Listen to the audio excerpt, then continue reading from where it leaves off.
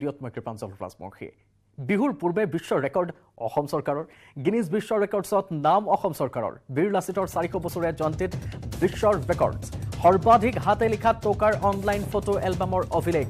এক ফেব্ৰুৱাৰীত এই অভিলেখ গঢ়িলে অসম চৰকাৰে বিয়াল্লিছ লাখ চৌৰানব্বৈ হাজাৰ তিনিশ পঞ্চাছখন ফটো আপলোড কৰা হৈছিল। এটা ভাল খবৰ এই মুহূৰ্তত আকৌ এবাৰ জনাবলৈ চেষ্টা কৰিছোঁ বিহুৰ পূৰ্বেই এয়া বিশ্বৰ ৰেকৰ্ড অসম চৰকাৰৰ কাৰণ বিহুলৈ টাৰ্গেট লৈ আছিল গিনিজ বুক অফ ৱৰ্ল্ড ৰেকৰ্ডছত ইতিমধ্যে নাম সন্নিৱিষ্ট কৰিবলৈ চেষ্টা অব্যাহত ৰাখিছে চৰকাৰে। তাকে লৈ অনুশীলন অব্যাহত আছে বিহুতে দহ হাজাৰ নাচনীয়ে একেলগে নাচিব।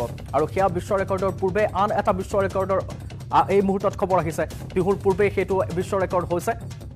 বীৰ লাচিতৰ চাৰিশ বছৰীয়া জয়ন্তীত বিশ্ব ৰেকৰ্ডছ গঢ়িছে সৰ্বাধিক হাতে লিখা টকাৰ অনলাইন ফটো এলবামৰ অভিলেখেৰে।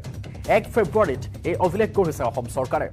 বিয়াল্লিছ লাখ চৌৰানব্বৈ হাজাৰ তিনিশ পঞ্চাছখন ফটো আপলোড কৰা হৈছিল।